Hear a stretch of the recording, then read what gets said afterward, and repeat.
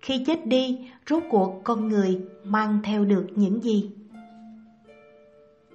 Con người sống ở thế gian này nhiều lắm cũng chỉ là mấy mươi năm. Đau khổ, truy cầu rốt cuộc có thể lưu lại điều gì? Danh lợi cũng là thoảng qua như mây khói, sinh không mang theo đến, chết không mang theo đi. Sao không tùy duyên đối diện, sống cuộc đời này nước chảy mây trôi? Xưa kia ở đất Ấn Độ có một chàng trai trẻ không may vì bệnh tật mà qua đời. Vào lúc vừa trút hơi thở cuối cùng và sinh mệnh ngắn ngủi trên dương thế kết thúc, chàng trai thấy Phật tổ cầm trong tay một chiếc rương và tiến lại phía mình. Phật tổ nhân từ nói, chúng ta đi thôi con. Chàng trai nhìn Phật tổ với ánh mắt tiếc nuối và cầu khẩn. Thưa Phật tổ, cuộc đời con diễn ra chóng vánh quá, con vẫn còn rất nhiều việc muốn làm, rất nhiều việc con vẫn chưa hoàn thành. Phật tổ đáp, ta rất tiếc, nhưng đã đến lúc con phải đi rồi. Chàng trai ngước đôi mắt phiền não nhìn Phật tổ và hỏi, Thưa Phật tổ, trong cái rương này của Ngài có vật gì vậy? Phật tổ trả lời, chiếc rương này chứa đựng di vật của con. Chàng trai băn khoăn hỏi, di vật của con sao? Ngài muốn nói tới tiền bạc, trang sức và những vật dụng cá nhân của con phải không? Phật tổ lắc đầu mỉm cười. Những thứ đó chưa bao giờ là của con cả, chúng đều thuộc về địa cầu. Chàng trai tiếp tục suy đoán Vậy đó có phải là ký ức của con không? Phật tổ nói không phải, ký ức của con thuộc về thời gian. Chàng trai lại hỏi Vậy có lẽ là thiên phú của con? Không phải, Phật tổ đáp Thiên phú ấy thuộc về cảnh giới giác ngộ của con. Chẳng lẽ lại là bạn bè và người thân của con? Phật tổ trả lời Không, Họ thuộc về trái tim con. Lần này chàng trai quả quyết Vậy nhất định là thân thể con rồi. Phật tổ nhìn chàng trai lắc đầu. Thân xác con không bao giờ là của con, Nó thuộc về các bụi. Chàng trai không ngừng suy tư, Cuối cùng anh khẳng định, Vậy thì chắc chắn di vật của con Chính là linh hồn của con. Phật tổ nhìn chàng trai một lúc rồi nói, con hoàn toàn sai rồi, Linh hồn của con thuộc về ta. Chàng trai rưng rưng nước mắt. Những gì anh vẫn nghĩ là của mình Vẫn cố ôm giữ thật chặt khi còn sống, Mà trong khoảnh khắc này đây, Chúng đều không phải là của bản thân anh. Tiếp nhận cái rương từ tay Phật tổ rồi mở ra, Chàng trai vô cùng ngạc nhiên khi thấy bên trong hoàn toàn trống rỗng, Không có bất kỳ vật nào cả. Nước mắt lăn dài, Chàng trai đau khổ hỏi Phật tổ Chẳng lẽ từ trước đến giờ con chưa từng có gì sao? Thứ gì mới thực sự thuộc về con?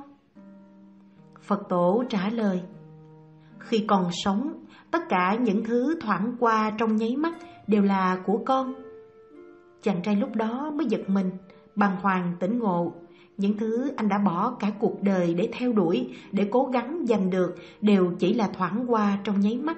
Ngay cả thân xác cũng không phải là của anh, tiền tài, địa vị, nhà cửa, tất cả bây giờ anh đều không thể mang theo. Chúng ta chẳng phải cũng như vậy sao? Có bao nhiêu người sẵn sàng đánh đổi mọi thứ, bao gồm cả những điều quý giá nhất là gia đình, tình thân và sự thanh thản của tâm hồn để theo đuổi công danh, quyền lực và vật chất vì cho rằng đó là đích đến của cuộc đời, là hạnh phúc đích thực. Trong xã hội, có bao nhiêu người chỉ vì chút lợi ích cá nhân mà làm tổn hại người khác hoặc so sánh bản thân mình với người khác mà tự cảm thấy bất công sống trong cuộc đời ngắn ngủi này bởi vì bận rộn mà ta đã bỏ lỡ những chuyện có ý nghĩa trọng đại với sinh mệnh.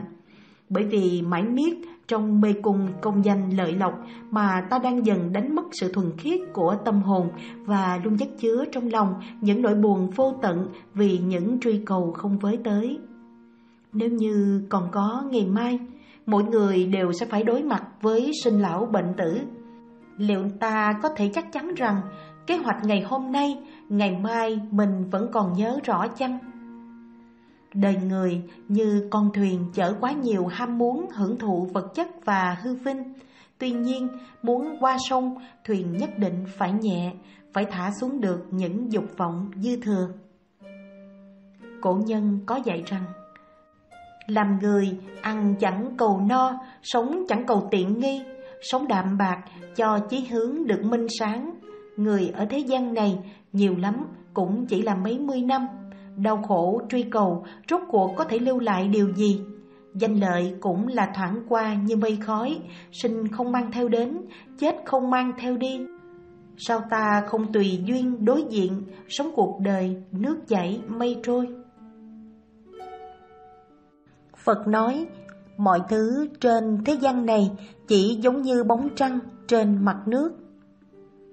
Phật gia giảng rằng, nhân sinh như mộng, đời người là ảo vọng, hết thảy mọi thứ nơi thế gian cũng chỉ giống như bóng trăng trên mặt nước. Vì sao lại như vậy? Hãy cùng đến với hai câu chuyện ngắn dưới đây. Alexander Đại Đế là một vị vua vĩ đại. Trên đường khải hoàng sau khi chinh phạt nhiều nước, ông ngã bệnh. Vào thời khắc ấy, những vùng đất ông chiếm được, quân đội hùng mạnh, những thanh gươm bén và sự giàu có không còn nghĩa lý gì với ông. Ông nhận ra rằng cái chết sắp sửa đến và ông sẽ không kịp về mảnh đất quê hương. Ông bảo các sĩ quan của mình, ta sắp sửa rời bỏ thế gian, ta có ba điều nguyện ước, các ngươi cần phải thực hiện những gì ta bảo.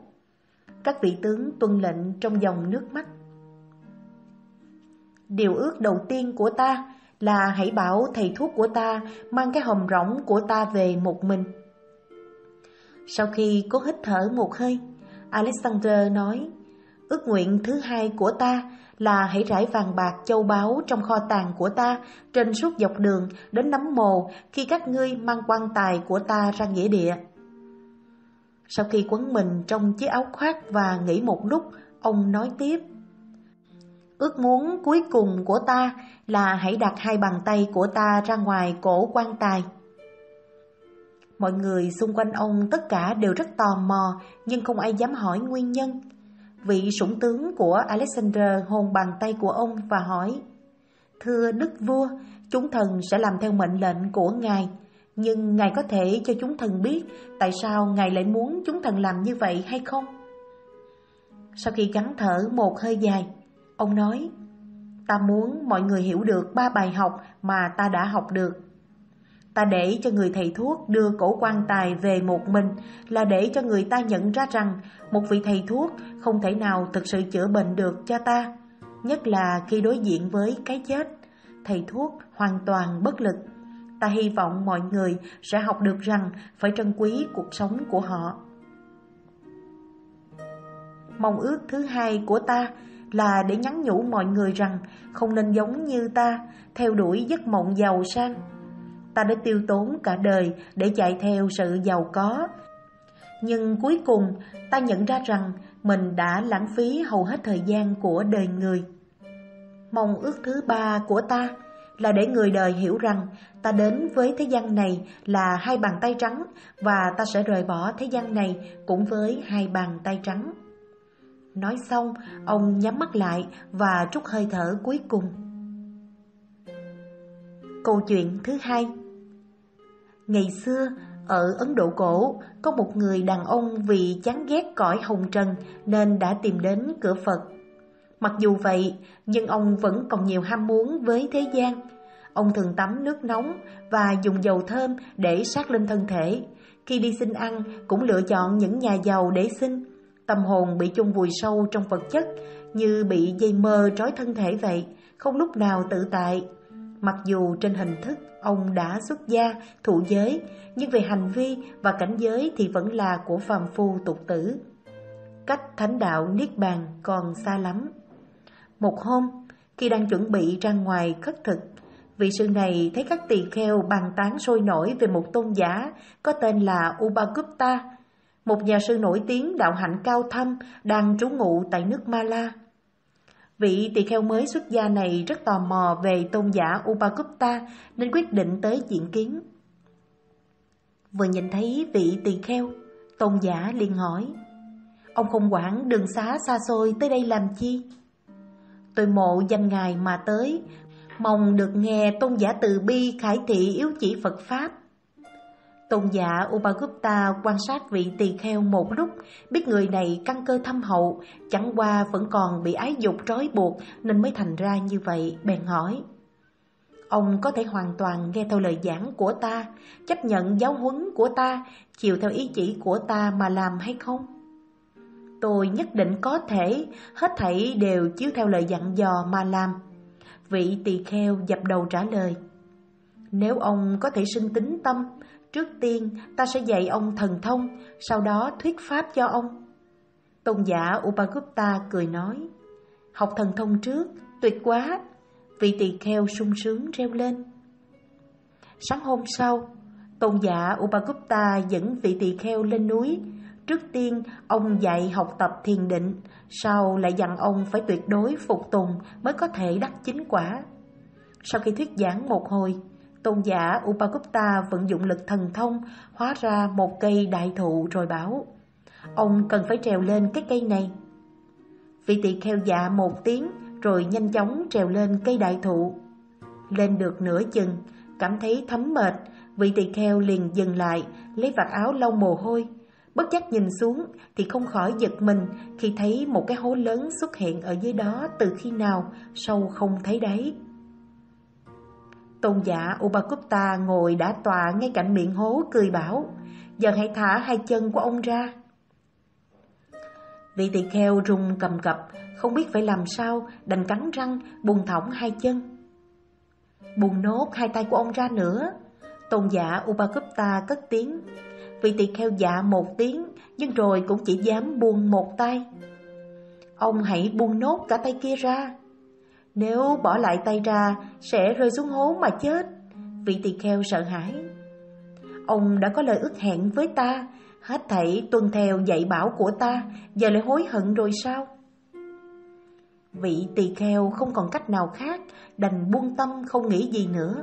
Vừa buông tay kia ra, liền rơi vào cái hố sâu, vừa sâu hắm vừa đen ngòm. Lúc này, ông hồn siêu phách lạc, toàn thân lạnh ngắt, nhưng khi mở mắt ra nhìn thấy cái cây và chiếc hố đã biến đâu mất, chỉ thấy tôn giả Upagupta đang ngồi trước mặt mình, nhìn ông một cách từ bi. Giờ ta hỏi ông, khi ông rơi xuống cái hố đó, ông còn thấy thế gian có gì để đáng thích nữa không? Tôn giả đã bước tới ngoặt sinh tử, hết thảy đều không còn gì ưa thích nữa. Là như thế, hết thảy mọi thứ thế gian đều là hư ảo hết. Khi sắc thân ảo diệt, ái dục cũng theo đó mà ảo diệt. Nếu ông có thể nhìn thấu sắc thân vô thường, thoát khỏi ái chấp trói buộc, thì sẽ giải thoát khỏi nó. Ưa thích là căn nguyên của phiền não sinh tử, hãy cẩn thận với nó. Tinh tấn tu hành, chớ mất bản tâm, sẽ thành chính đạo. Vị tỳ kheo lúc này đột nhiên tỉnh ngộ, từ đó tĩnh tâm suy ngẫm, chuyên cần tinh tấn, cuối cùng chứng đắc quả vị A-la-hán. Thực ra phú quý hay bần tiện trên thế gian cũng như một dòng nước chảy, nó không ngừng thay đổi vào mỗi thời khắc. Đối diện với sinh lão bệnh tử trong đời người thì giàu hay nghèo của con người thế gian dường như vô lực. Thế nên đôi khi tôi cảm thấy rằng không có gì trong thế giới này có thể dựa vào, kể cả tiền bạc, quyền lực, tình cảm và thậm chí là cả sức khỏe. Tất cả mọi thứ giống như bóng trăng trên mặt nước, Mặc dù chúng ta theo đuổi những điều này không biết mệt mỏi, chúng ta thấy rằng cuối cùng chúng chỉ là tạm thời, không có gì trong những thứ này là điều quan trọng nhất ở đời người. Lục căn còn tham đắm, trụ chấp, dính mắc, lục trần. Đó là nguyên nhân gây ra ác nghiệp. Sáu căn tiếp với sáu trần, gây ra tội lỗi không ngừng một giây nơi bể khổ bơi vào lặng hụt. Chốn tà đồ mãi dục chân bon. Đam mê nhân ngã bằng non. Đi con đường quấy bỏ con đường lành. Để nhắc nhở cho các vị khất sĩ giữ gìn sáu căn đừng buông thả tự thân trong lĩnh vực thất niệm. Phật kể cho các vị khất sĩ nghe một mẫu chuyện như sau. Một hôm nọ, có một con chim ưng thình lình đáp xuống chụp lấy một con chim cút rồi bay chút lên cao. Con chim cút than khóc, tự trách là mình đã đi ra khỏi vùng mà cha mẹ bảo không nên ra khỏi, cho nên mới bị tai nạn. Nếu ta biết nghe lời cha mẹ, thì con chim ưng này làm gì được ta? Nghe con chim cút nói thế, chim ưng hỏi, Vậy dùng nào mà cha mẹ mày bảo đừng ra khỏi? Chim cút trả lời, đó là giặt đất mới được cày. Chim ưng lấy làm lạ, bèn mang chim cút trả về chỗ cũ rồi nói, Này, cút, mày hãy liệu hồn, tao chỉ thả mày lần này thôi, lần sau nếu bắt được mày, tao sẽ không thả đâu. Chim cút trở về giặt đất đã cày, leo lên đứng trên một hòn đất lớn rồi nói, Này chim ưng, mày hãy xuống đây xem có thể bắt được tao hay không. Chim ưng nổi giận, dùng hết sức lực lao vút xuống. Chim cút thấy thế, lập tức chui xuống nắp dưới hòn đất. Chim ưng chẳng những không bắt được chim cút, mà còn da vào hòn đất quá mạnh, đến nỗi bị vỡ ngực, quay ra nhảy chết. Này các vị khất sĩ, người tu hành phải an trú trong chánh niệm, hộ trì sáu căn cho nghiêm chỉnh, rời khỏi lãnh vực chánh niệm, tức là đi vào lãnh thổ của ma dương, thế nào cũng bị tai nạn. Sở dĩ con người ta bị tai ách hoạn nạn và gây tạo ác nghiệp là vì quá đam mê dục lạc. Con người thường gây đau khổ cho nhau, tạo nên những cuộc tranh giành tàn khốc. Để đời sống cá nhân được an nhàn, càng tham muốn càng tạo nhiều tội lỗi. Không biết đủ, dầu sống trên ngọc ngà châu báu vẫn thấy thiếu. Tham dục là ngọn lửa luôn luôn bốc cháy trong lòng nhân loại. Chính nó là nguồn gốc sinh ra mọi khổ đau. Ở thế gian, tham nhiều chừng nào là tự chuốc lấy khổ lụy nhiều chừng đó. Tham là căn bệnh trầm kha khó trị. Người ta sống chưa tới trăm năm mà lại toan tính việc muôn đời. Có kẻ giàu sang ức triệu, ngồi không hưởng suốt cuộc đời chưa hết, vẫn còn dơ vét của thế gian, tham lam, ích kỷ, là bợn nhơ che mất ánh sáng trí huệ, nhận ngụy làm chân, gây ra vô số ác nghiệp. Hàng ngày, những vụ đâm chém, tranh giành danh lợi, tình tiền não hại lẫn nhau, không sao kể hết. Vì nó mà muôn ngàn thảm họa nảy sinh, chiến tranh bùng nổ khắp nơi. Trong kinh A Hàm, Phật dạy ngài Mahanam Sở dĩ chúng sanh đau khổ là vì đam mê ngũ dục, lấy dục làm gốc, nên xảy ra cảnh ông bà, cha mẹ, con cháu, anh chị em dòng họ bêu xấu hơn thua sát phạt lẫn nhau. Ngoài xã hội dân chúng, vua quan tranh địa vị chức quyền chưa đủ, lại khởi binh xâm lấn nước khác, gây nên cảnh bắn giết, đánh đập, tra tấn, hành phạt đủ cách. Thật là giả man mất hết nhân tính. Giống như hung thần ác quỷ hổ báo đều do lòng dục tạo ra thảm cảnh như thế. Cho nên đức phật khuyên các hàng đệ tử phải ly dục ly ác bất thiện pháp.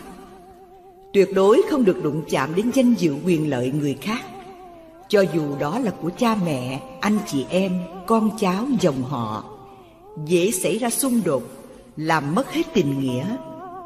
Điều đó chúng ta phải thận trọng.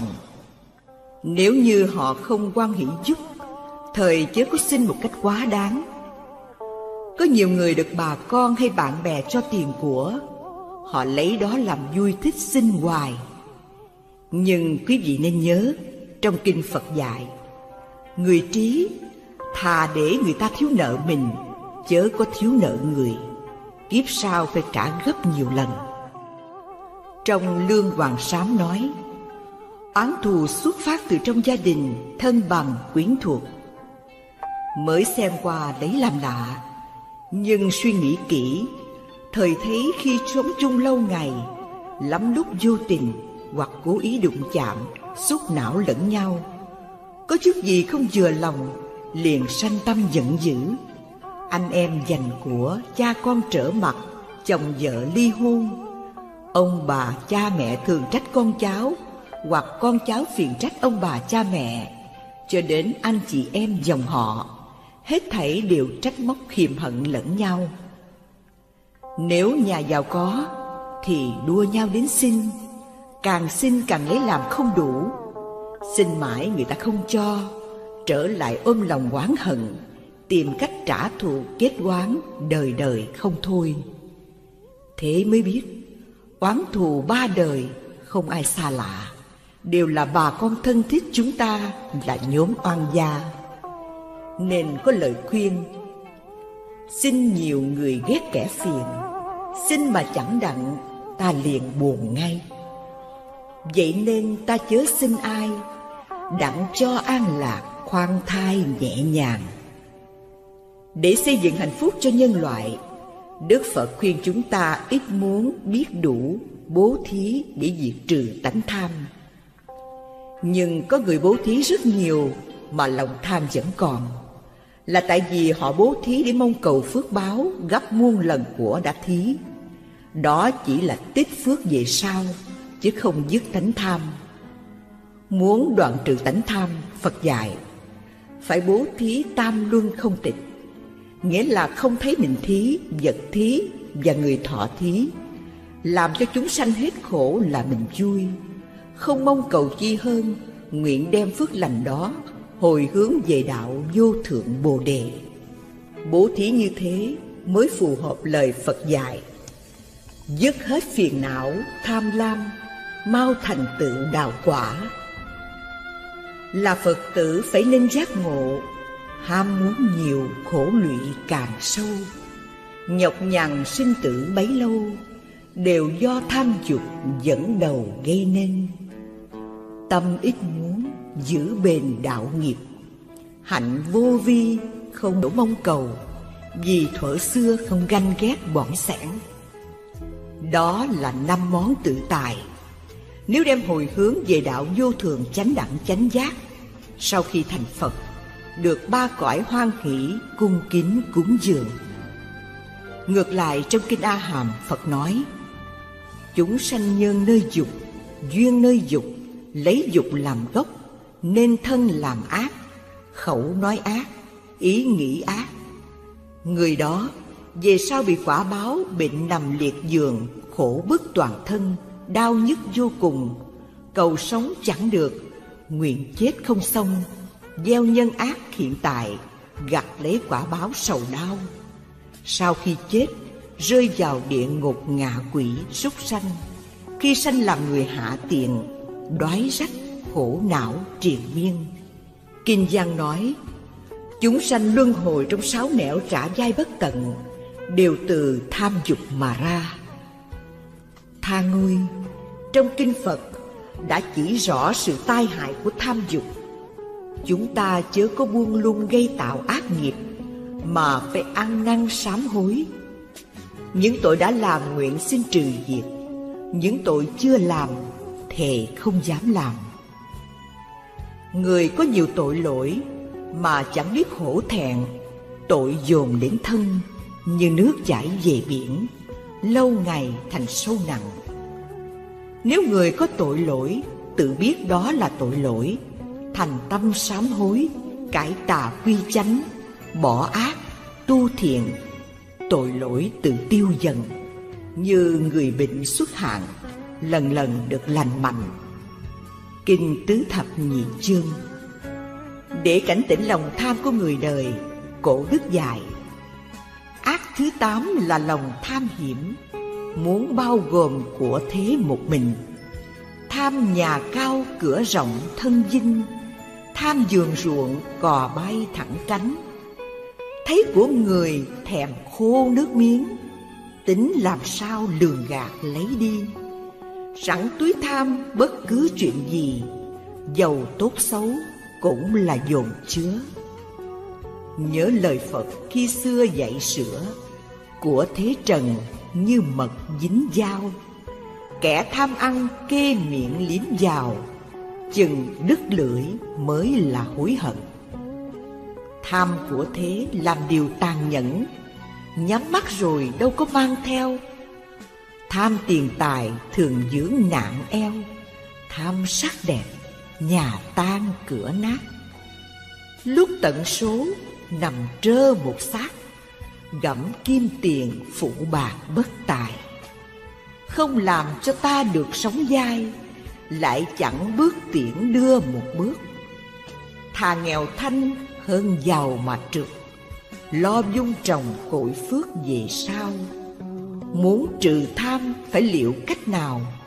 Phải bố thí, diệt lòng ích kỷ. Tâm chánh niệm thường thường suy nghĩ, Vật ở trần như bọt nước làm mây. Thân ta còn dài đó mai đây Của ấy cũng khi tan khi hiệp. Chín Không sân nhuế. Sân nhuế là tính nóng nảy giận hờn. Hễ ai nói động đến mình một chút Hoặc làm trái ý nghịch lòng Liền sân si, sừng sộ, phẫn nộ chống đối tới cùng. Đó gọi là sân nhuế. Phật cấm sân hận. Vì nó rất tai hại, Giống như ngọn lửa dữ đốt cháy cả mình lẫn người xung quanh. Vì thế, trong Kinh Quan Nghiêm nói, Nhất niệm sân tâm khởi bá dạng chướng môn khai. Nghĩa là, một niệm sân nổi lên Thì trăm ngàn cửa nghiệp chướng đều mở ra. Thật vậy, Có lắm người không ngăn được cơn tức giận, Đánh đập vợ con đến nỗi tàn tật. Đốt phá của cải Rồi ân hận suốt đời.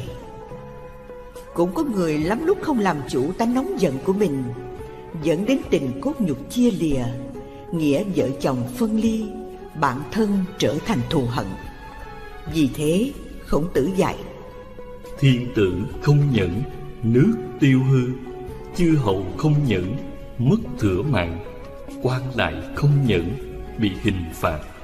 Vợ chồng không nhẫn Tình ý xa Anh em không nhẫn Chia lìa nhau Tự thân không nhẫn Hòa đến thân. Ngài dạy tiếp. Thiên tử nhẫn Nước không hư Chư hầu nhẫn Nên việc lớn quan lại nhẫn Nên chức gì Vợ chồng nhẫn Tình chung thủy Anh em nhẫn Nhà giàu sang.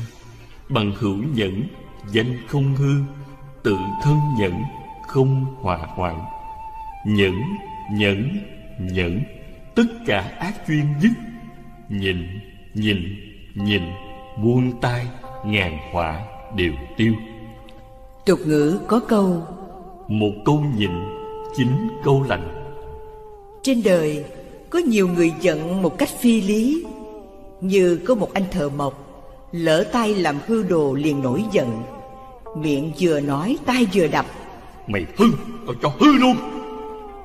Vì thiếu đức kiên nhẫn Nên biết bao người bỏ dở dang công việc giữa chừng một cách đáng tiếc. Đối với việc làm mà không khắc phục được Thì làm sao hài hòa với những người cộng sự? Ngoài xã hội Chúng ta thường thấy những cuộc tranh tụng giữa hai bên cha mẹ, vợ chồng. Vì thiếu niềm tin nên xảy ra tranh cãi Kết quả là đưa đến khổ đau Đều do lòng cố chấp, bảo thủ Thấy lỗi người mà ra. Như bà vợ thì muốn ông chồng đừng uống rượu, hút thuốc còn ông chồng lại bảo vợ đừng có cằn nhằn ăn xài. Nhưng thử hỏi Tự bỏ cái tật của mình coi có được chăng? Nói như thế Không có nghĩa là ai muốn làm gì mặc kệ. Nếu thấy việc chi không tốt làm tốn hao tiền của sức lực. Ta nên cố gắng khuyên nhắc lẫn nhau. Nếu không được, Coi đó là nghiệp, Ráng nhẫn nhịn trả cho rồi. Tranh cãi làm chi cho sanh sự lôi thôi. Như mẫu chuyện trong sách giáo dục gia đình nói, có anh chàng tên là nhu, có cô vợ tánh tình hung dữ lại nói dai vô cùng. Việc không đáng cứ nói mãi, nhưng anh vẫn tự nhiên coi như chẳng có chuyện gì xảy ra. Nhờ hiểu đạo lấy nghịch cảnh rèn luyện đức nhẫn nại nên gia đình được bình yên. Sở dĩ con người ta đau khổ là vì không chấp nhận sự thật vui chịu với nó. Thí dụ Như ông bà thấy con cháu làm ồn Thời bực mình la rầy, chửi rủa Vô tình tập cho mình thói quen Lâu ngày thành nghiệp. Khi đó khó mà sửa đổi. Nếu chúng ta biết an nhẫn Lấy sự ồn ào của chúng làm vui Thì vẫn vui như thường. Cũng như cái nhà của mình đâu có hẹp Nhưng nếu chú rể về ở chung Thì anh chị em bên vợ cảm thấy chật. Là vì tâm ích kỷ, hẹp hòi Che mờ lý trí, đạo đức Đánh mất hết tình nghĩa. Có nhiều người nói Nhìn kẻ có thế lực Lớn tuổi hơn mình Dễ hơn là nhìn những người yếu kém Nhỏ tuổi như con cháu. Quý vị nói như thế Không đúng nghĩa chữ nhẫn Mà nhẫn ở đây là chấp nhận qua cảnh ngộ Nhìn chịu sự mắng nhiếc, khinh bỉ Kẻ yếu kém nhỏ tuổi hơn mình. Người như thế mới gọi là nhẫn nại cao quý. Trong Kinh A Hàm nói Xưa có trận giặc giữa Atula và Chư Thiên. Lúc đó đế thích thắng trận Bắt được Atula Dương trói tại cột cờ. Atula Dương chửi mắng nhục mạ đế thích đủ điều. Nhưng ngài vẫn nhẫn nại Không nói lại lời nào. Khi đó người hầu đế thích bèn nói kệ. Tại sao thiên đế sợ? Tự tỏ mình yếu kém. Tu chất mắng trước điện Vẫn im lặng để nghe. Đế thích đáp Không phải ta sợ chúng đâu Mà vì ta nghe lời Phật dạy. Người nào có thế lực Mà nhẫn nại sự chửi mắng của kẻ dưới tay mình Đó là người cao thượng Có sức hùng mạnh. Vì thế nên ta nhẫn nại. Bấy giờ Đế thích điền dùng bài kệ đáp lời người hầu. Nó chẳng có sức mạnh Ta nào có sợ chi? Lẽ đâu hàng đại trí Cùng kẻ ngu tranh luận? Khi đó Người hầu đọc bài kệ trình đế thích. Nay không chỉ kẻ ngu Sợ sau này khó nhẫn. Hãy trừng trị nó ngay Cho nó tự sửa lỗi. Bấy giờ Đế thích vì người hầu mà nói kệ. Người ngu không hiểu biết cho Nghe lời vợ Cố tẩu bảo thuấn đến đó cày trong ba ngày cho xong. Nếu không xong thì trị tội.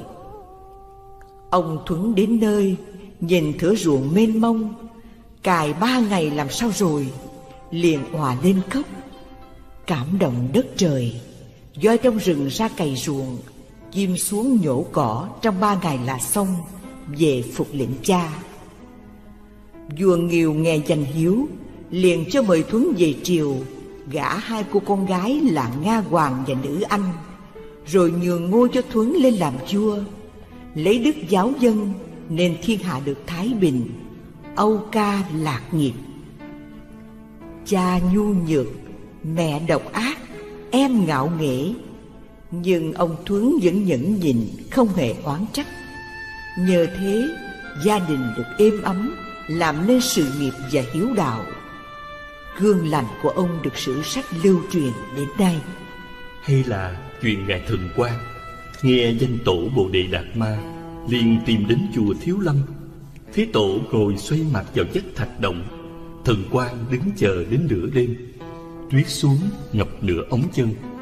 Tổ thấy thế liền hỏi, Ngươi làm gì đứng đây?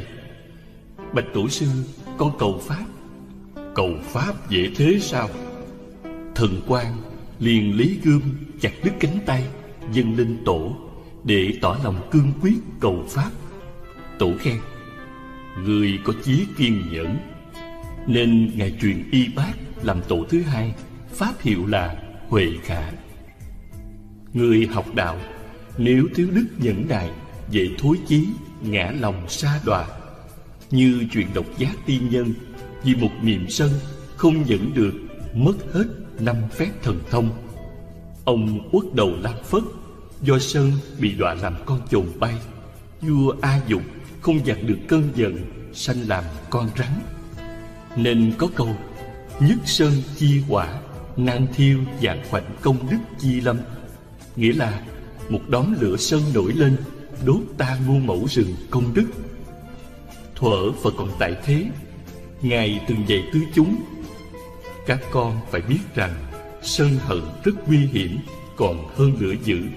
Thường phải phòng hộ, đừng để chúng xâm nhập, bởi tai hại của nó phá hoại các pháp lành lẫn danh thơm tiếng tốt.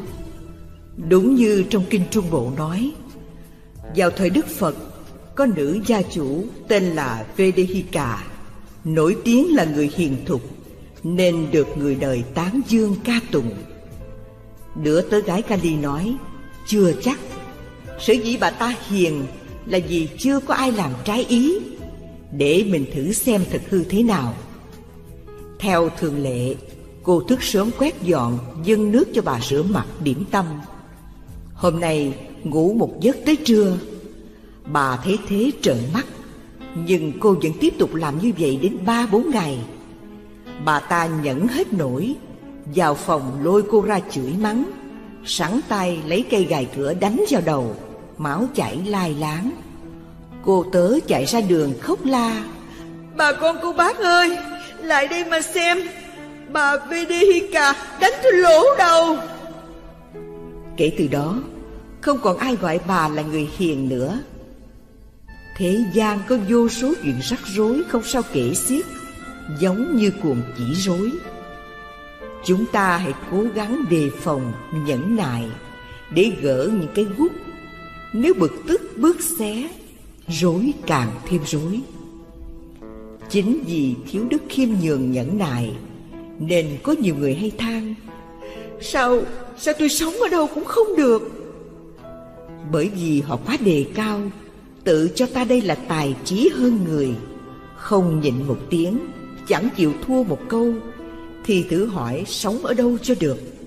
Nên có câu Người khôn ít nói nghe nhiều Lựa lời đối đáp Lựa điều hỏi han. Trước người hiền ngõ khôn ngoan, Nhường trên một bước rộng đàn dễ đi. Việc người chưa nói làm chi, Chuyện mình mình biết, Vậy thì mới khôn. Hay là Nhẫn một tiếng thời sóng yên gió lặng, Lùi một bước thì biển rộng trời cao. Thật vậy, Nếu ai biết nhẫn nhịn Thì trời đất rộng mênh mông, Thông dông tự tại. Ngược lại còn đấu tranh hơn thua thì khó mà đi đâu được. Kinh pháp cú nói, không trói buộc nào bằng ái dục, không khổ nào bằng khổ ngủ ấm, không ác nào bằng ác sân hận, không vui nào bằng vui niết bàn. Nên phật dạy, nếu người nào ôm lòng sân hận là tự ngăn thánh đạo, mất công đức lớn, đời này và đời sau không thấy được điều gì vui thú. Chúng ta hãy suy nghĩ qua câu chuyện trong kinh hiền ngu sau đây để rút ra kinh nghiệm trong khi tu tập, ngõ hầu ngăn ngừa quả xấu về sau. Chuyện kể, vua ba tư nặc có cô con gái tên là kim cương, thân hình sần sượng giống như da cóc ai nhìn thấy đều kinh tởm, tránh xa. Cho nên đức vua không cho công chúa ra ngoài vì sợ người ta biết cho ông là người thất đức, nên mới có con như thế. Công chúa kim cương khi lớn lên, tự nghĩ mình chẳng khác nào như chim lòng cá chậu. Muốn đi đâu cũng không được. Thậm chí, nghe nói đức phật ra đời, định đến nghe pháp để tu hành vẫn không được. Một hôm, nghe tỳ nữ nói, phật có tam minh lục thông, chúng sanh khẩn cầu ngài đều được cứu giúp Công chúa liền bảo tỳ nữ mua sắm hương hoa, lập bàn hương án, hướng về Linh Thú Sơn, thành tâm đảnh lễ, cầu xin Phật từ bi chỉ giáo cho con biết cách tu hành, hóa giải ác nghiệp. Động bối tự tâm, Đức Phật dùng thần thông bay đến ngự trên hư không, hào quang sáng chói. Công chúa nhìn lên thấy Phật có 32 tướng tốt, 80 vẻ đẹp, trong lòng vô cùng hoan hỷ đảnh lễ thưa rằng. Bạch Đức Thế Tôn Do ác nghiệp gì Con lãnh thọ thân hình thô xấu thế này? Nhân đó Phật nói Hồi thời quá khứ Có ông trưởng giả thường phát tâm cúng dường bố thí. Vì muốn cho con gái tạo phước Nên mỗi khi chư tăng và người nghèo đến sinh liền kêu con ra sớt bát cúng dường bố thí. Một hôm không may cho cô con gái gặp phải vì Bích Chi Phật bị bệnh cùi. Thân hình lở loét. Cô ta nổi giận sanh tâm kinh mạng chê vì Bích Chi Phật là xấu xí, hôi tanh Nên nhòm gớm phiền trách. Sớt bát rồi, sao ông không mau đi, hôi quá chịu không nổi. Đối với những người bệnh hoạn chưa bẩn Cô đều khi dễ, phỉ bán, khạc nhổ. Nói đến đây Phật bảo Này Kim Cương Người con gái thuở đó Chính là tiền kiếp của con. Vì xem thường vị Bích Chi Phật Và kinh khi những người bệnh hoạn Dơ bẩn Mới bị quả báo thân hình thô xấu như thế. Nhưng nhờ con biết bố thí cúng dường Nên nay được làm công chúa Để hưởng phước khi xưa con đã tạo. Bạch Đức Thế Tôn Muốn chịu quá thân hình xấu xí này Phải tu hạnh gì? Muốn hóa giải đó Con phải tu hạnh nhẫn nhục trên kính dưới nhường Nói lời êm ái, chân thiện Làm cho người nghe sanh tâm hoan hỷ. Đó là nhân lành Kết thành quả tốt Thân hình xinh đẹp Ai nhìn thấy cũng kính mến. Sau khi nghe Phật dạy xong Công chúa thành tâm sám hối phát nguyện.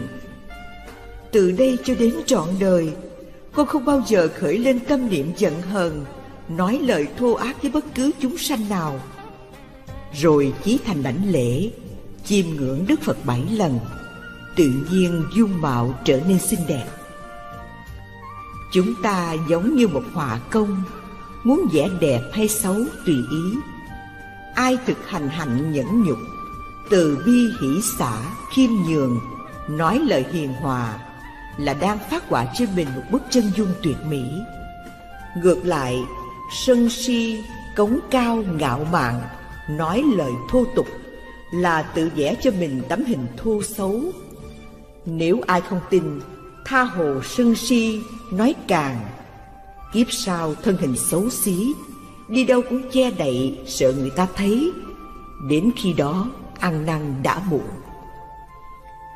Người hay sân nó hiện ra tướng xấu, tự làm khổ mình và người khác nên nó trổ ra quả xấu khổ không thể tránh được thật vậy mỗi khi sân hận nổi lên quý vị xoay gương coi đẹp hay xấu.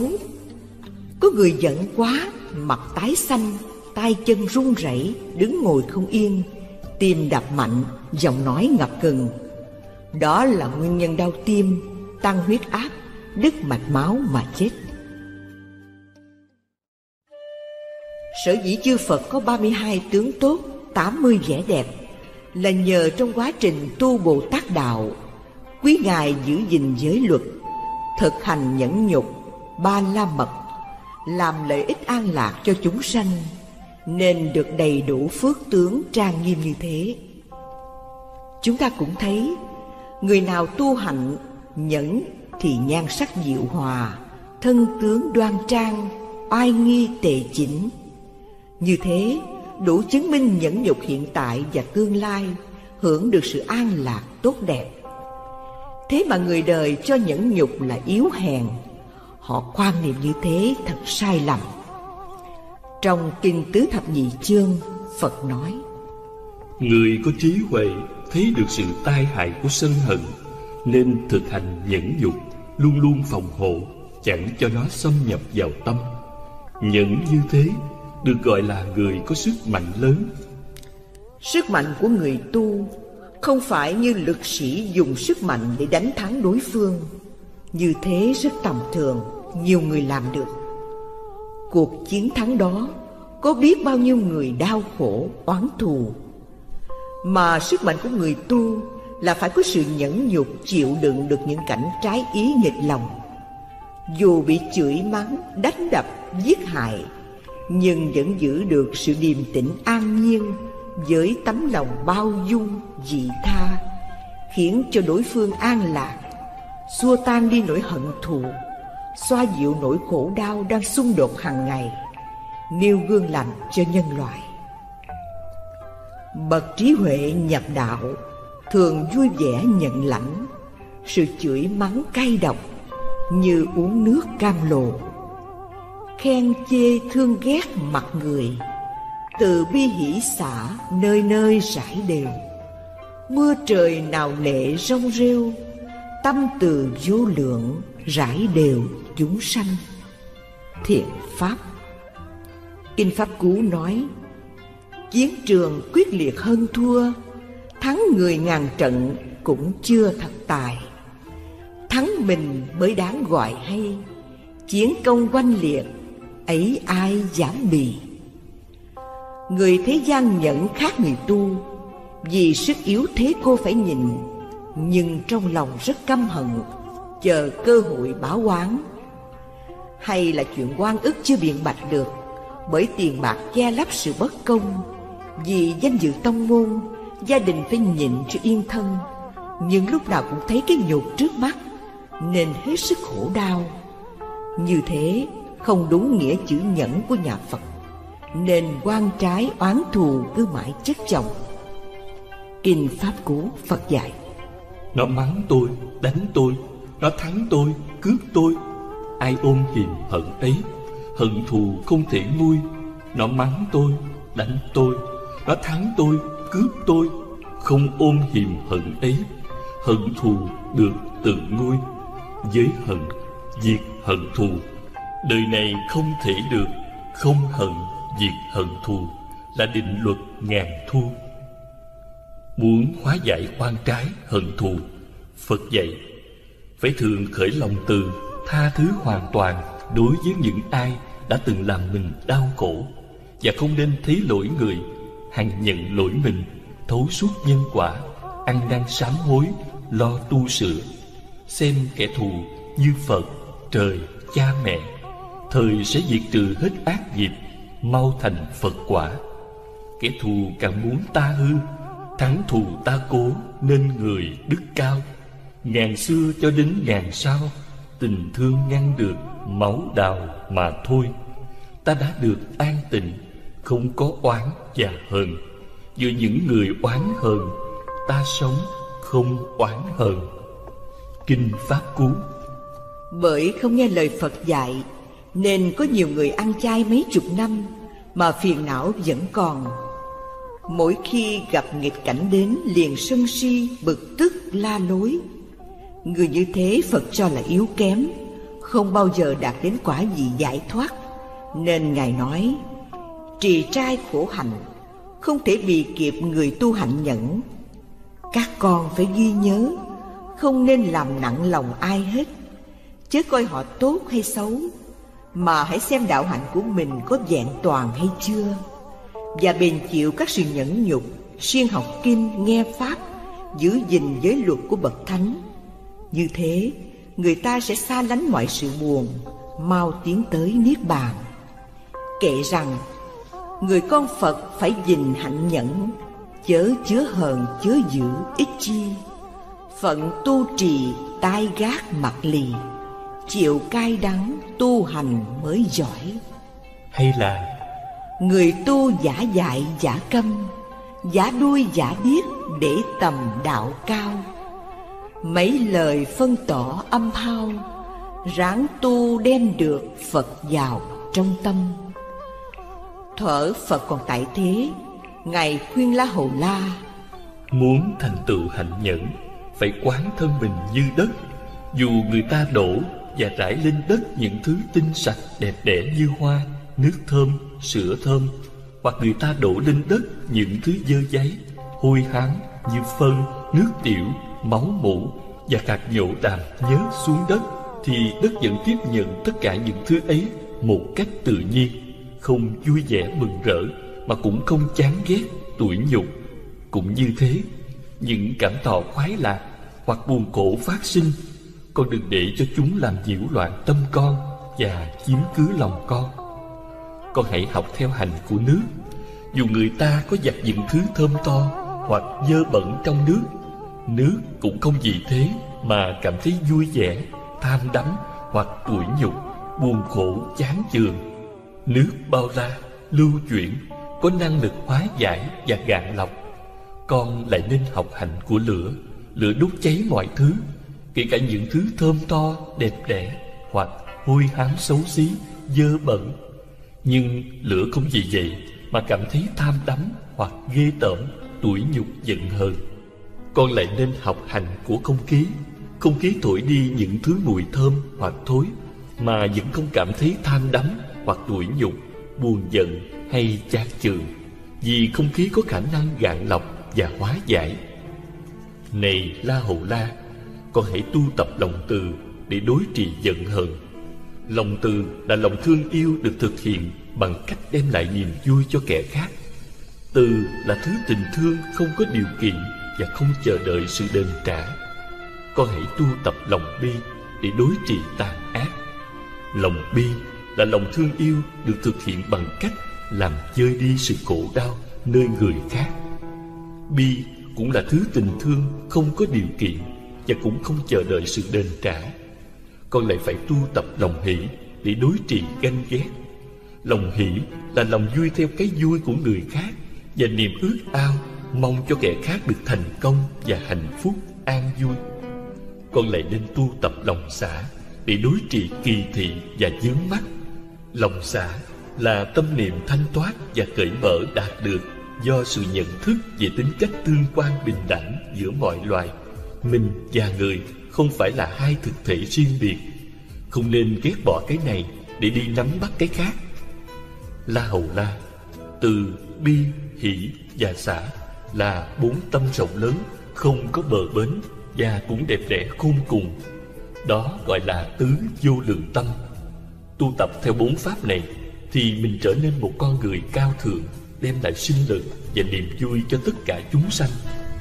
La hầu la con lại phải quán chiếu về vô thường để phá trừ ảo tưởng về cái ta.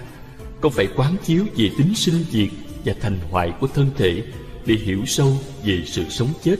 Đó là phương pháp thoát ly tham dục, sân nhuế. Dĩ có kẻ cầm dao cắt đứt thân con ra từng mảnh, trong khi đó phải tự nhiếp tâm, đừng để sân hận nổi dậy và giữ gìn cửa miệng, chứ thốt ra lời ác. Còn phải khéo quán sát tu tập.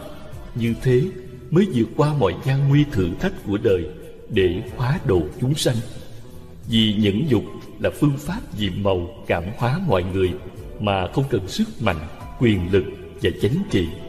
Được như vậy mới đáng gọi là bậc đại nhân, đại lực, có trí huệ nhập đạo. Người tu hạnh nhẫn nhục, tập tánh giống như nước, thường mềm dẻo mát dịu, rộng lượng và khoan dung, nhẫn nhục như bùn đất, dù sạch dơ đổ lên, đại địa cam thọ hết, không tỏ chút giận hờn. Để cho chúng sanh thấy được sự lợi ích của nhẫn nhục phật nói tiền thân ta làm gì? Này đại dương nếu tôi có lỗi bị người hành hạ tôi phải nhẫn thọ như uống nước cam lồ và cung kính đối với người ấy còn nếu gặp trường hợp họ không phân biệt phải trái, xúc phạm khi đó tôi nghĩ ngày nay mình vô tội. Nhưng biết đâu trong quá khứ đã từng làm người ta khổ đau. Hơn nữa, thân này là vô thường, do các duyên giả hợp, có gì đáng để luyến tiếc? Hay lắm. Nghĩ được như thế hết sức là cao thượng. Nhưng làm sao cho ta tin rằng, ngươi thật tình không oán hận? Không cần nói đại dương cũng thấy tôi nào khuất phục trước sự áp bức bất minh, thiếu nhận xét của ngài và chẳng quan tâm tới lưỡi kiếm chém vào thân tôi, nên nội tâm được tịch tỉnh, không có ác niệm đối với sự tàn bạo của ngài. Vì tôi lúc nào cũng tâm niệm, nguyện cho tất cả chúng sanh sớm bỏ đường tà, quay về nẻo chánh, thoát khỏi ác nghiệp. Nếu quả thật tôi có thực hành hành nhẫn nhục, cầu cho thân này được bình phục như cũ. Vừa nguyện xong trời đất bỗng dưng rung chuyển, hương thơm ngào ngạt, lan tỏa khắp nơi. Máu hóa ra sữa, thân thể trở lại như xưa. Nhìn thấy tiên nhân bình phục, vua ca lợi vô cùng kinh ngạc. Giờ đây, tánh kiêu căng tàn bạo không còn nữa. Bèn quỳ xuống bên tiên nhân, Cầu xin sám hối tội lỗi Và phát nguyện tận tâm phụng sự tam bảo. Và noi theo gương nhẫn nhục của Ngài Để thực hành trong đời sống cá nhân Cùng trị quốc an dân. Qua chuyện trên Chúng ta thấy tiền thân Phật Chấp nhận nghịch cảnh đau thương Không một lời oán trách lại nguyện cho họ đừng lãnh thọ ác báo Nên Ngài thành tựu được thân nhẫn, khẩu nhẫn và ý nhẫn Đạt đến nhẫn nhục ba la mật. Không thấy mình nhẫn và cảnh để nhẫn, Nên nội tâm được an lạc.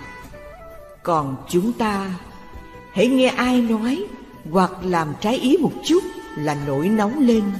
Nguyền rủa cho họ chết một cách thê thảm mới hả dạ. Chính vì sự tức giận làm cho con người mù quáng, Không phân biệt được phải trái, Nên lắm lúc can thường luân lý bị đảo ngược. Như con dám hại cha chửi mẹ. Vợ thù chồng, em giết anh, tớ phản chủ Đồng loại xô xát lẫn nhau Gây bao thảm cảnh. Cho nên cứ mãi tiếp tục làm chúng sanh đầy phiền não Trôi lăn trong dòng sanh tử trả dai khổ đau bất tận. Thế thường chúng ta hay tự ái nổi sân Phân bua, lý luận Dành phần phải về phía mình Người khác nói có mấy câu, Ta liền cướp lời, Kể lễ, Rồi đem đủ thứ bằng chứng Đổ lên đầu họ Để cho họ thấy rằng họ quấy.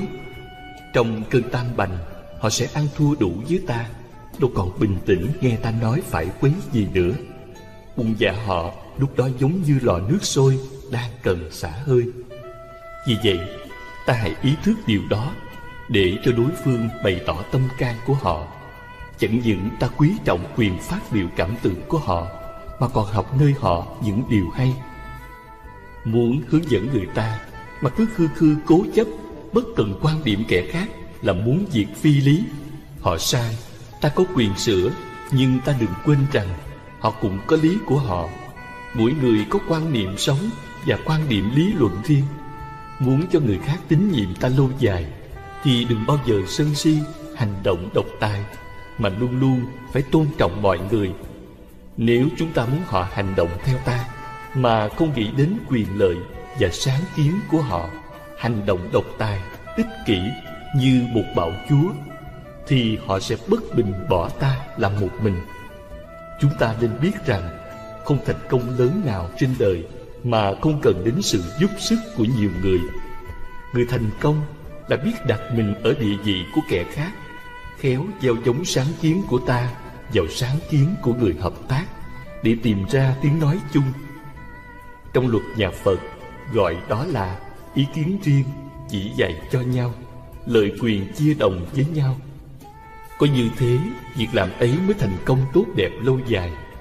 Chúng ta nên nhớ, khi chinh phục ai thì đừng biến họ thành kẻ thù ta hãy dẹp cặp kính màu chủ quan hãy nhìn mọi việc bằng cặp mắt khách quan và tập đặt mình vào địa vị của kẻ khác. Xử sự như vậy, ta sẽ bớt đi nỗi lo âu, bực tức, thấy đời đẹp hơn và đắc nhân tâm hơn.